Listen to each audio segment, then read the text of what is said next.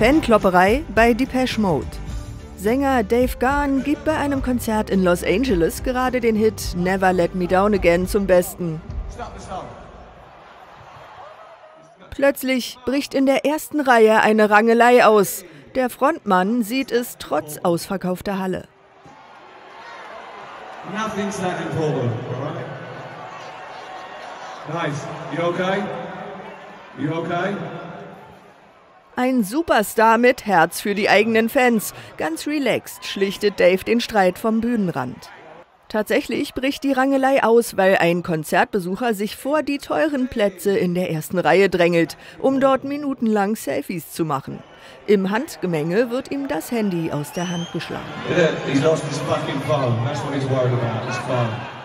Streit geschlichtet, abklatschen mit dem Konzertrübel. Die Fangemeinde im Netz überschlägt sich vor Freude.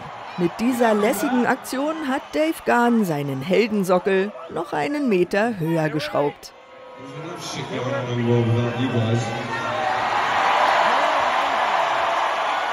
All right, let's start again.